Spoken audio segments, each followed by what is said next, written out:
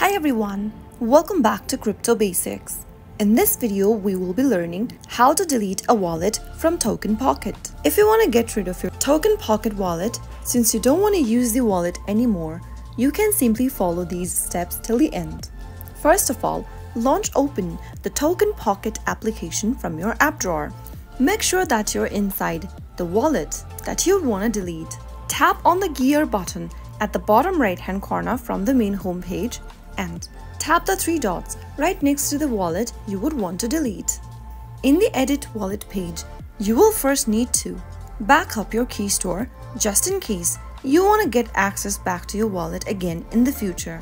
Tap on the Backup Key Store button and enter your password and verify your identity. After you are done typing in the password, tap on Backup and make sure you back up your key store that will be displayed on the next page. Once you've backed up your key store, tap on Delete Wallet and enter your wallet's password. After typing in the correct password, tap on Delete. And you will now be able to delete your Token Pocket wallet.